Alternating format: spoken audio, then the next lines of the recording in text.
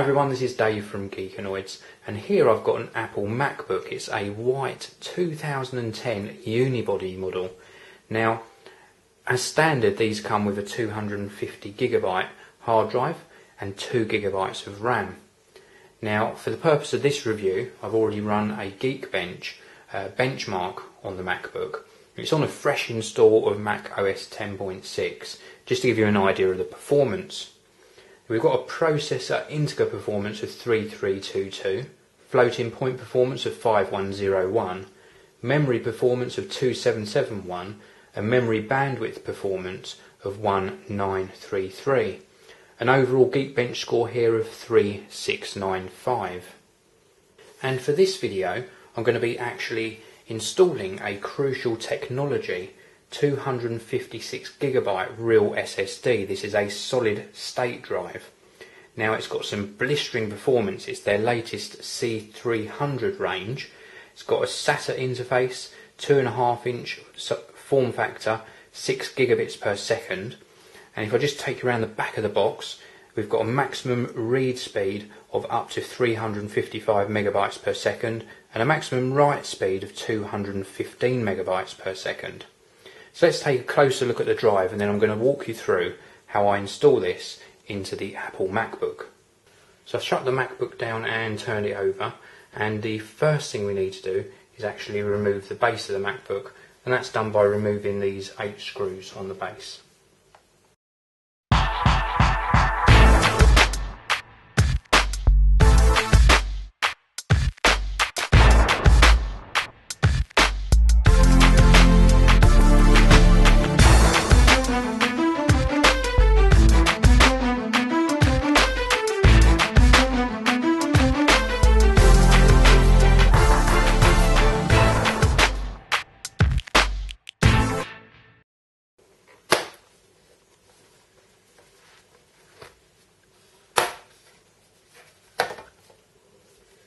That's the base removed on the MacBook. So now we're ready to perform the SSD upgrade. So this is the Crucial Technology 256 gigabyte solid state drive. Now inside the box we've got some information about warranty and in fact you get a three year limited warranty with this drive. So this is the drive itself. Just pop the package into one side. Now the drive is very very simple, it's a two and a half inch form factor. We've got some mounting screws on either side and then we've got the interface for both the power and the data on the front here. So we've got to remove the existing drive from the MacBook. Got two retaining screws here to remove first of all.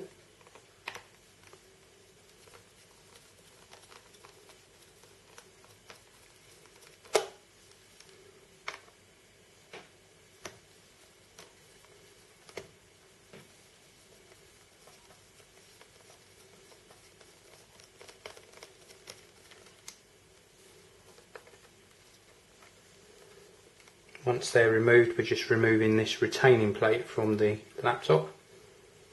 And then we can ease up the hard drive. And then we've got the data cable here, which we have to remove.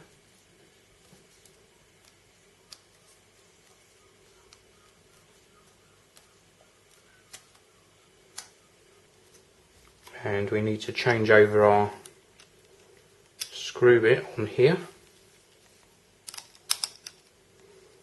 And we need I think it's a T7 let's just try that for size. No it's not a T7 it's going to be a T6 Torx bit. Let's have a look at the size of this one. This is a T6 Torx bit and this is to remove these mounting screws on the side of the drive. So let's pop this into the screwdriver so this is the existing hard drive and we're just going to remove these Torx screws from the side. And these are used for remounting the SSD drive back into the MacBook. So that's one.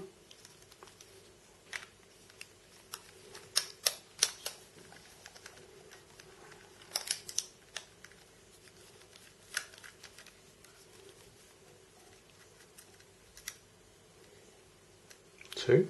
Then we repeat the other side.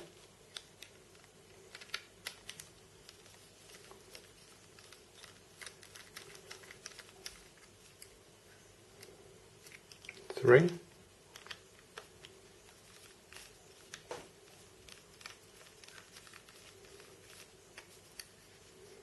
Four.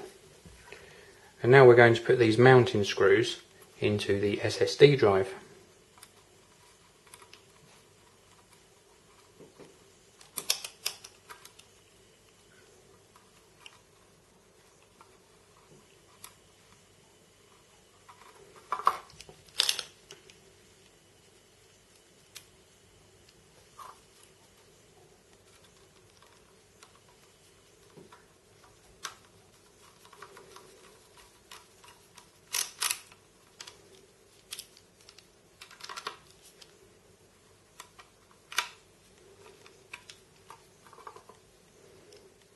That's one.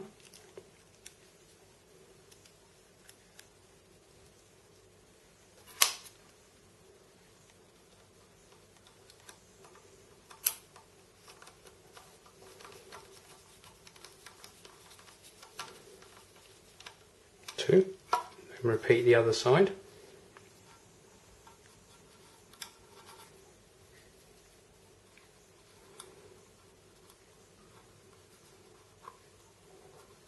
Lot easier just to initially thread those onto the drive actually before you use the screwdriver.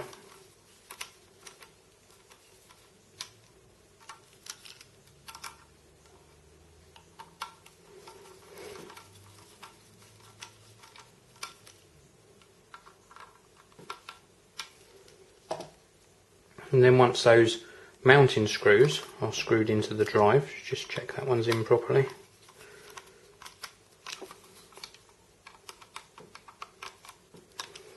We can reconnect the power cable and the data cable to the drive,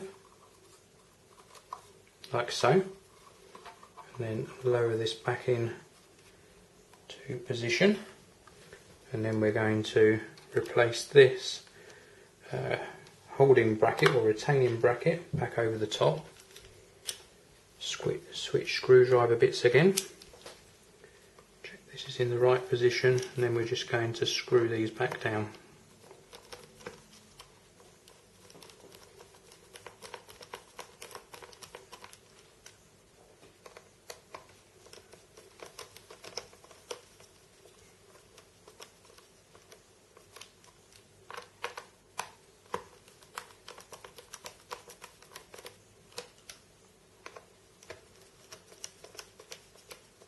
Careful not to over tighten these screws as well. So that's the solid state drive into place and now we're in a position to put the base back onto the MacBook.